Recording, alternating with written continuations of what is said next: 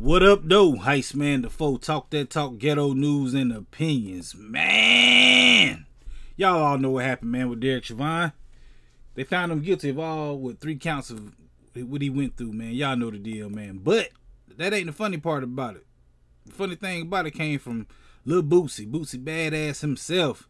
He came out with this tweet, man, and the tweet says, he lucky he ain't going to jail in Louisiana. Eggplant, eggplant. Boss call would have been made.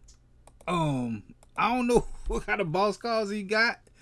Is he gonna get the booty hunter from um we call that show the Boondocks or Dateline NBC or Locked Up Abroad? I don't know, man, and I don't get the eggplant. Well, I get it, man, I get it, but why is you,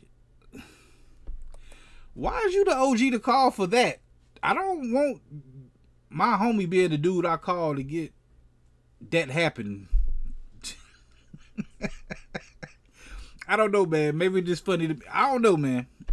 It's, it's something weird, man. He said he lucky he ain't going to jail in Louisiana. Eggplant, eggplant. That's what he gonna do to him. You want to say something? I see you. Why Boosie got a rapist on call?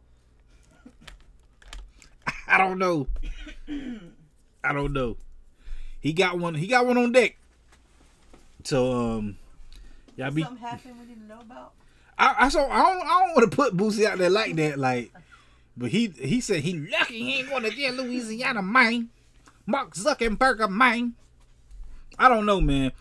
Boosie, you need to clear that up, man. You need to erase that, bruh. You got the people looking at you crazy, man, including me. Not like your music, man, but I don't want to be the dude to have this dude right here on call. Like, look at him. Good God Almighty. I don't know, man. We definitely gonna be talking about this Friday right here on this channel, man. Y'all gotta come through and holler at me, man. Um, hit that like button, the comment button, the share button, the subscribe button, the notification bell, all them good buttons you gotta hit to get this pimping that I'm putting out when I put it out. And like I said, I go live every Friday at 9 p.m. Come through and holler at your boy, Heist Man the Foe. Talk that talk, ghetto news and opinions. Peace.